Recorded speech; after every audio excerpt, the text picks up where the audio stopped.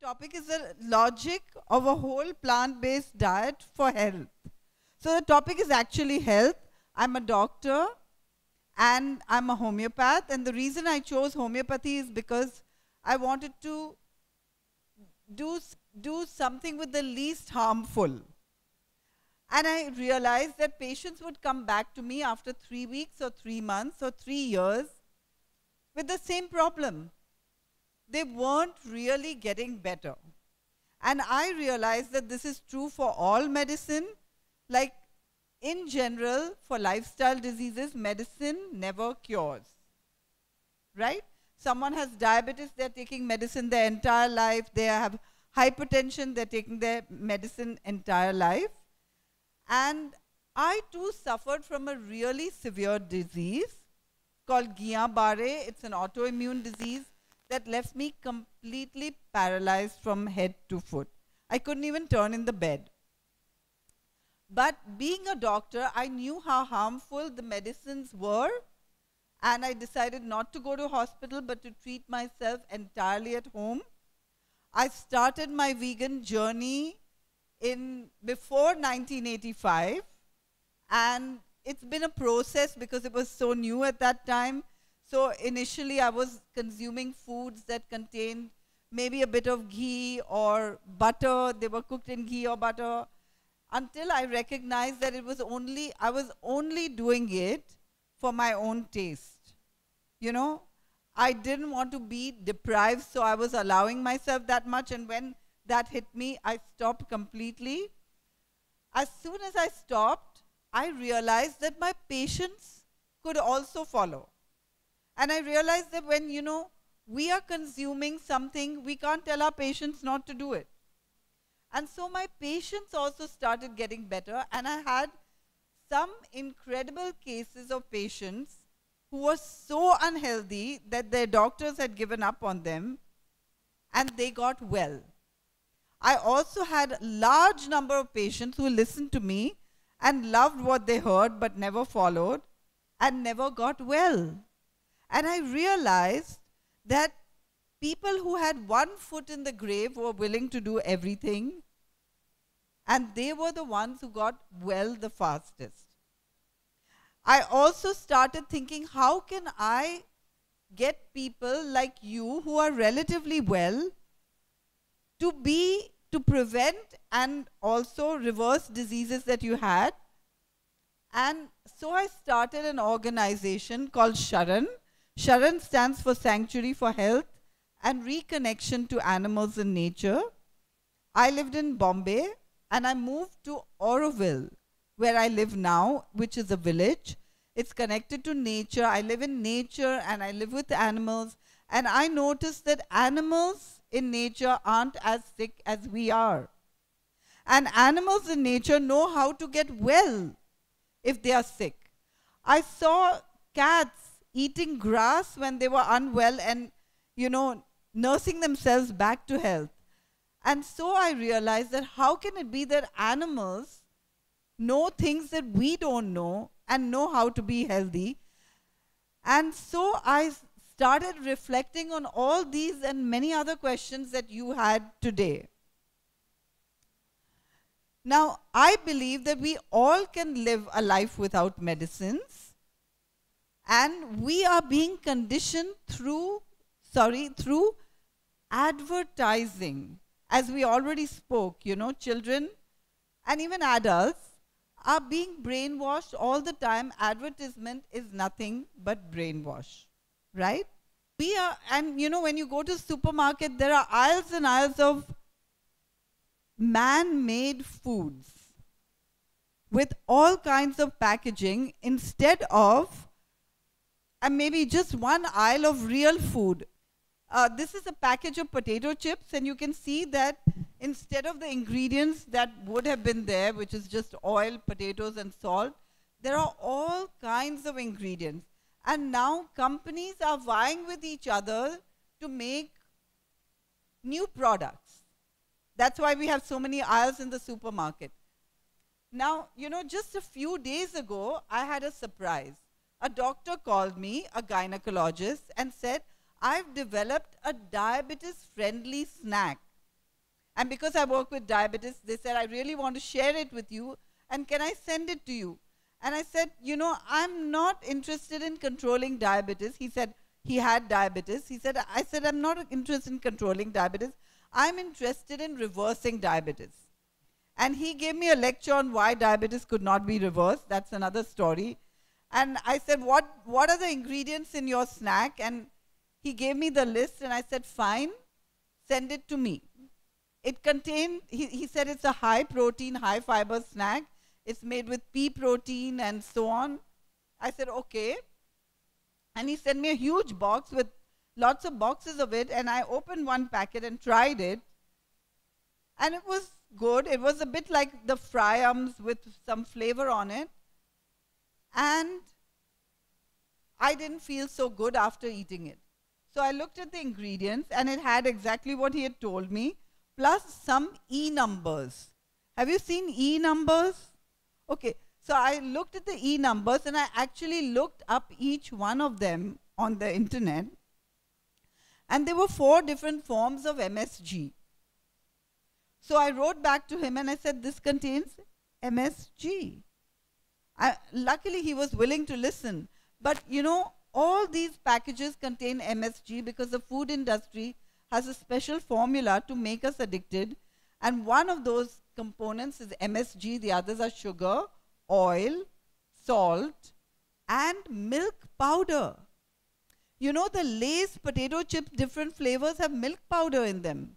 They're putting milk powder into anything. So today's challenges are a whole host of diseases, and these are, and I'm going to need the slide to move quickly, uh, all these obesity and please just go on diabetes, hypertension, CKD, migraine headaches, colds and fever, all kinds, just go on and on because we need to move this fast. And you know, these are the things that we're seeing every day. I guess many of you know him. And he watched, uh, next slide please, a film called Uprooting the Leading Causes of death, uprooting the leading causes of death by Dr. Michael Greger, and you can watch it too. It's on YouTube. And he changed his diet. Uh, next slide. Why did he change his diet? And it's for the same reason that if you had a car, what kind of fuel would you put in the car? The one on the manufacturer's manual, right? Either diesel or petrol, whatever it would be. And this is true for anything. Like, next slide, if you had a cow, you would feed it. Shall we turn off? Oh, this is good. If, if you had a cow, what would you feed it? And if you had a lion, meat.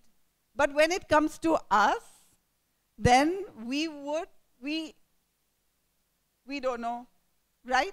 So why do cows eat grass and lions eat meat? Because it's in their instinct, right? Now we are going to have a look at our own instincts. So if you were at a farm or an orchard and you saw fruits and vegetables, what do you feel like doing? Picking and eating. But if you saw a chicken walk by, or a goat, or a cow, what would you feel like doing? Whose mouth will water if they see a chicken walk by? Well, lion might not notice a chicken, but maybe a dog or a fox, because a dog or a fox could pounce on a chicken, tear it apart, and eat it whole. Skin, bone, blood, beak, claws, everything. In fact, there are animal lovers. Are there any animal lovers here? Oh, that's nice. So there are animal lovers who go to chicken shops in the evening and pick up all the things that humans don't eat and feed it to dogs. That's because dog can eat every part whole, you know. And we, if we see this, we may salivate, right? Is there any chicken eater here? Okay, so if you see something like this, you may salivate. And that's because we have been conditioned to eat chicken. This is conditioning, but it's not instinct. You know, there are so many foods that we have been conditioned. And this is by our culture, our society, and advertisements, right? We are undergoing conditioning all the time. Uh, now, dog, uh, goat or a cow might be lion food. But if you saw green fields of wheat and rice, then would you salivate? No. Who would salivate? Cow, exactly. So, this is cow food. We have learned to eat cow food. And you know, you all heard about lactose intolerance because milk is not our food. We talked about this. But we also have gluten intolerance because wheat and rice are actually not our foods. We have been conditioned. And so we need to eat foods that are naturally suitable for us fruits and vegetables, and maybe seeds and beans and so on. Now, if we look at it in a little more scientific manner, if you saw the teeth of a lion, or if you saw the teeth of a carnivore, you would see this. Back, back, back. Yeah, if you saw the teeth of a carnivore, and if you saw the teeth of a herbivore, and if you saw the teeth of a omnivore, right? Now, if you look at our own teeth, it's pretty clear that we're not omnivores because we don't even have those sharp canines. We call our teeth canines, but we don't have those canines which could pounce on any of the animals that we eat and tear them apart and actually eat them, right? We've learned to do this. Now, we already talked about milk, so I'm going to keep this very short. But I do want to say that every animal produces milk only for their young, and we are not calves. But instinctively, we know that. Because every baby loves their mother's milk. But do they appreciate when you first give them cow's milk? Not at all. And therefore, mothers put sugar, cocoa, and run around them with a glass of milk just because instinctively they are not attracted. But after a while, we think that this is the best food because our mother ran around us for half an hour. And so, when we have children, we automatically give it to them. And even, like Vinita said, question whether we should give it or not initially, right? Next. But actually, our body always works to heal if we take out all the wrong foods, it's like taking a car that runs on petrol and if you put diesel in it, it doesn't work so well. But if you take out the diesel and put back petrol, it will start working again and our body is even better than a car. But in order to be healthy, we need really high quality nutrients. These are the spare parts for healing, and they come in all the colors of the rainbow. So, as I said earlier, medicines never cure. Our body always works to heal. And I'm not trying to say we don't need medicines.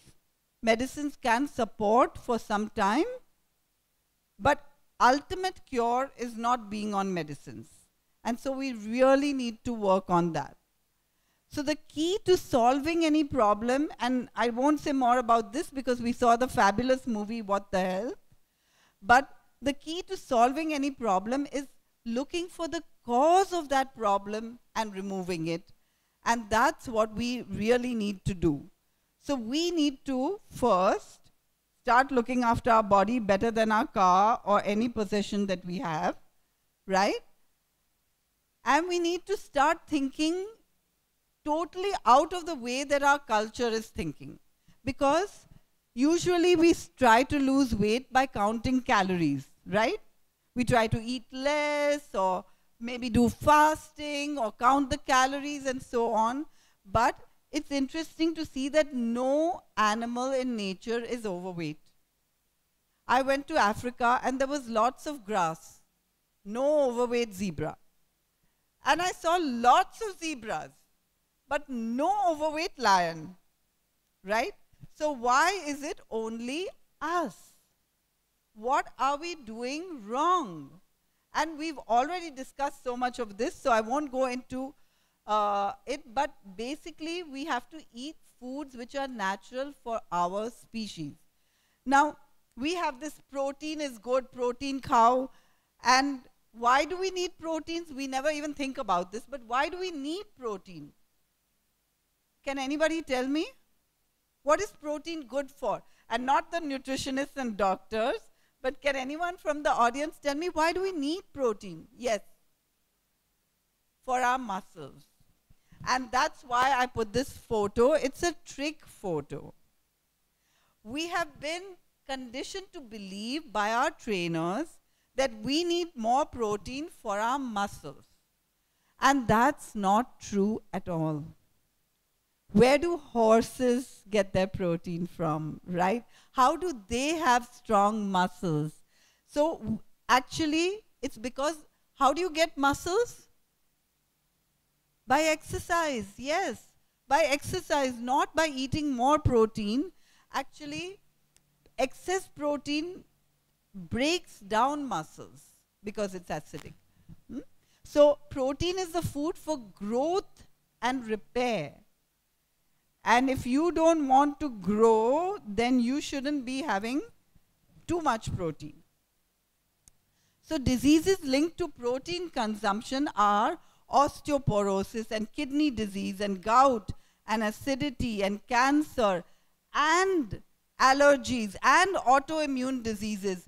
And we are actually suffering from a whole lot of diseases from excess protein but if I were to ask you, how many of you know somebody with protein deficiency? Please put up your hand if you know someone with protein deficiency. I'm looking for hands. No hands. So why are we so obsessed with protein?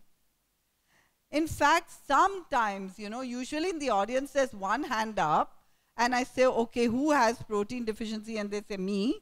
And I say, what symptom do you have? And I say, feel weak. Protein does not give energy. What is the food for energy? Carbohydrates. How do you feel when you eat too much protein? Like, for example, remember the day when you had too much paneer or too much chicken or too much cheese. How do you feel?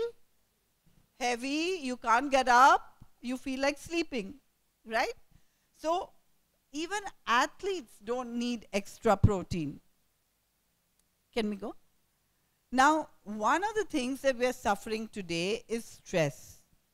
Have you all suffered from stress? Right? And when we are stressed, we produce adrenaline. When animals are stressed, they produce adrenaline. Don't you think that all those chickens in those cages waiting to be slaughtered after their brothers and sisters are stressed? they produce adrenaline. Don't you think that those chickens laying those eggs, 250 eggs a year, in those cages are stressed? A normal chicken lays 25 or 30 eggs a year. They are producing adrenaline. So there's adrenaline chicken, there's adrenaline in, in eggs. If you go to any slaughterhouse, all those animals are stressed all meat is full of adrenaline. If you consume dairy, the cow is stressed. She wants to lick her baby and give her baby her milk. Milk is full of adrenaline. And when we consume animal products, we're consuming large amounts of adrenaline, which affect us. Now, is there anyone here in the audience who has stopped consuming all animal products and who has actually noticed a change in the state of mind. Please put your hand up if you are one of those. And others look around you in the room.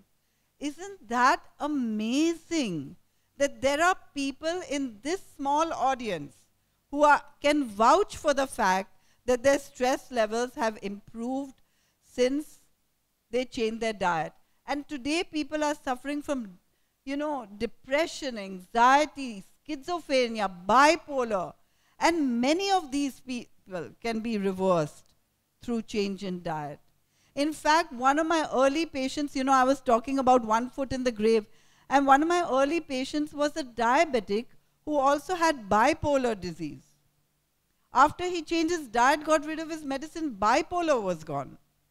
I thought, wow, you know, this is the effect of eating right food. This is the reason why we're getting so sick these days. So diseases can be prevented and they can be reversed. And you know, there's so many doctors who have written so many books on reversing disease. And the last two are not by doctors, but they are by people like you in the audience who have reversed cancer and written the book without the use of the medical community. Isn't that something amazing? That our body can even heal cancer? Okay. Now there's a fabulous film, and we're going to see it tomorrow evening called The Game Changers. And The Game Changers is about people in the field of fitness. All those people whose trainers were telling them to eat more protein, but they started on a plant based diet and actually got fitter than ever before. This movie you should not miss. So, why should we change today? And the main reason is because we should get healthy. Only if we're healthy can we do anything. But also because the environment needs us. Look at the pollution in Pune, Delhi, Mumbai, all our big cities, right? And the animals need us more than anything else because extinction is happening right now and we can change it. So, three big reasons to become whole plant based for your health, for the environment, for the animals, and for your children if you have any. And if you don't, all the other children are ours, right? We are all one. Yes. So I just want to leave you with what Sharan does. And we have talks like this and specific seminars on reversing diabetes and hypertension. And I am going to have a series of reversing diabetes and hypertension seminars all over India now. But my next seminar is actually in Mumbai. So if you're from Pune, you can come. And it's 10 steps to a life without medicine. And that's really my favorite seminar because I think everyone can get well but the se seminar which sells more, unfortunately, is reversing diabetes and hypertension because everyone has that. And then we do consultations and we have publications. And during the lunch break, we are going to have our publications just for lunch on, our, on the table so that if anyone wants to buy, that will be available. And then we have a six week to health gain and weight loss program, and we're also making an online program for that. And then we have cooking classes, and we do have cooking classes sometimes in Pune as well. We have a 21 day disease reversal program, which is one of our best programs because you get the result and the experience on the spot. And then we have training programs, which are my favorite programs because my goal is to get a lot more people reversing, preventing, and reversing diseases through you. And so we have training programs for doctors and nutritionists, as well as facilitators once a year in December and January. And how can we help you?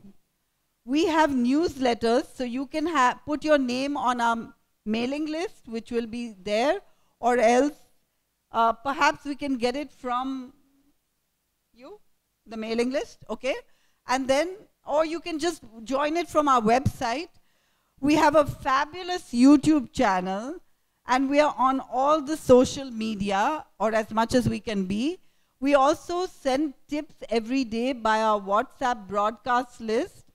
And we also have online programs right now reversing diabetes and reversing diabetes but we're going to have an online program, six weeks weight loss health grain, and also a basic cooking class. And then we have events in Pune and Mumbai. Mumbai is very ne near to Pune. And we have lots of events in Pune, uh, in Mumbai. In fact, in the last year, we've done something like 600 events all over India.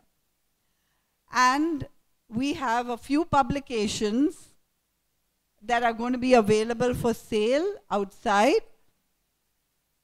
And that's basically it from me, but I do want to tell you that Sharan stands for Sanctuary for Health and Reconnection to Animals and Nature. And we can actually make the connection again if we're all willing to make the changes. Wish you the very best in health. Thank you. Do you have time for questions? Any very quick questions? That's good. That means I did a good job.